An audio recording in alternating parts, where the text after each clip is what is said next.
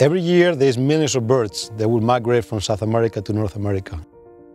They will migrate all the way to Yucatan, and from Yucatan, they will fly across the Gulf of Mexico through the state of Louisiana. So nearly the entire eastern North American population of those birds and many species of the western population will actually come through this forest here. Pipelines like the one Bayou Bridge wants to put in the Atchafalaya Basin contributes to the destruction of these habitats.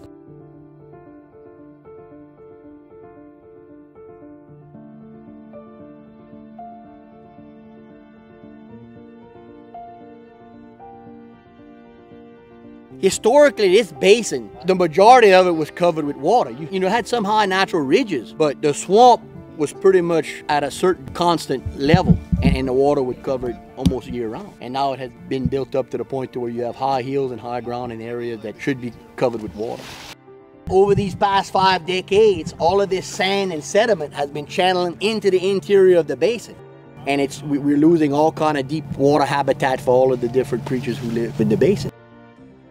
They're laying pipes 10 to 15 feet above the natural swamp floor of all of those natural bayous because they have filled in with sediment. And are you losing all of that habitat because of this, this interference?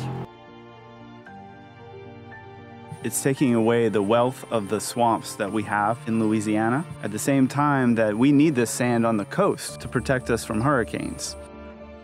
The pipeline company should be held accountable. They should clean this up. They need to move this sediment and they need to move it down to the coast where it could be of more use.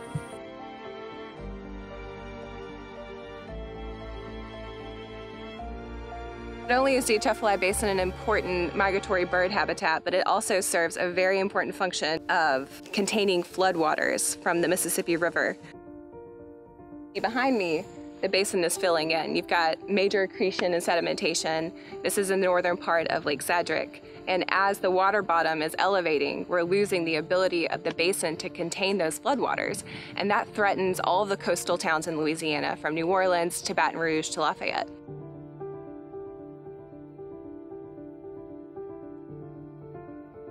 It's important that we fix the mess left behind like all of these fall banks that are left behind from this existing pipeline right away. And it's important that we don't allow it to continue to happen because we're pretty much running out of habitat to survive, survive in, you know, as far as our survival and all of the fishery and all of the creatures that live and survive in the Atchafalaya Basin. Uh, this tree right here, I'm sure it's probably a thousand years old or older. According to where they're proposing to put this new pipe, this tree is probably going to be cut out of the way. It's probably going to be cut and just grinded down to nothing, nothing left. My boys, they'll, they'll never see it the way I was able to see it or the way their grandfather was able to see it.